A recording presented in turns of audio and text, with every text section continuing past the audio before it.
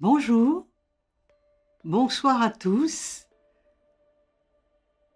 particulièrement euh, toutes les personnes euh, qui sont mères physiques et toutes les personnes qui sont mères de par le cœur également. Vous avez un rôle euh, très important dans la société, pas seulement dans votre famille, mais vraiment dans tout l'univers. Car c'est vous qui guidez, qui formez, qui éduquez tous ces êtres humains qui sont vos enfants, qui vont devenir un adulte ou une adulte, et qui donnez, c'est vous qui donnez l'exemple de quelle manière agir, quoi faire et surtout ne quoi pas faire. Donc il est tout à fait normal que, en fin de compte, tout au bout de ce chemin, oh, pas trop loin le chemin, car les enfants, euh, déjà en bas âge, souhaitent la fête des mères à leur maman, bien entendu, leur maman de cœur, leur maman physique. Elles sont aussi importantes l'une que l'autre. Alors, euh, elle commence déjà, ces enfants-là, il ou elle commence à faire gratitude, à vous faire des petits dessins, à vous faire des petits baisers, à vous préparer les petits déjeuners.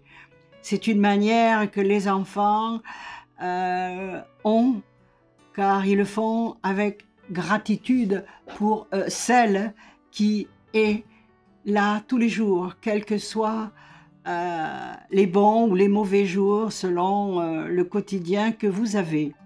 Donc il est tout à fait normal que cela se passe. Un bouquet de fleurs, un petit parfum, un petit sourire, un petit gâteau. Donc je vous souhaite une très bonne fête des mères, mes amis, mes sœurs, proches ou lointaines. Je vais aller un petit peu plus loin en arrière. Allez, on va en arrière un petit peu, ça fait pas de mal. Dans la Grèce antique, on a célébré les mères avec la déesse Rhea. Oui, c'est pas la moindre. Elle est plus célèbre, elle est très célèbre. Elle était, euh, elle était honorée car elle était la mère, rien de plus que le dieu de l'Olympe Zeus.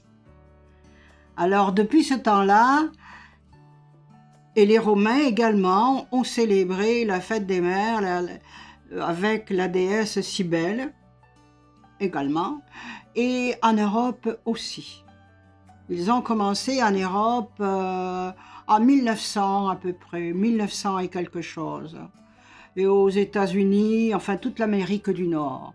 Euh, en fait, euh, tous les dirigeants, la famille, etc., etc., ont trouvé que c'était extraordinaire de célébrer eh bien, les mères du monde entier, car ils ont tous réalisé que sans ces mères, qui sont mères 24 heures et 7 jours semaine, le monde ne tournerait pas aussi rond.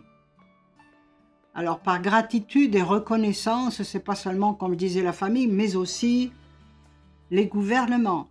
Euh, ce n'est pas tout à fait une fête commerciale. Ne vous y trompez pas. C'est une fête, on honore les mères, comme on dit, c'est bien pour marquer le coup, parce que on leur doit quelque chose à ces mères. Elles restent souvent dans l'ombre. Alors en faisant la fête des mères, eh bien nous les mettons en avant, et moi y compris, en amont, en avant, car ce sont les personnes les plus importantes de l'univers.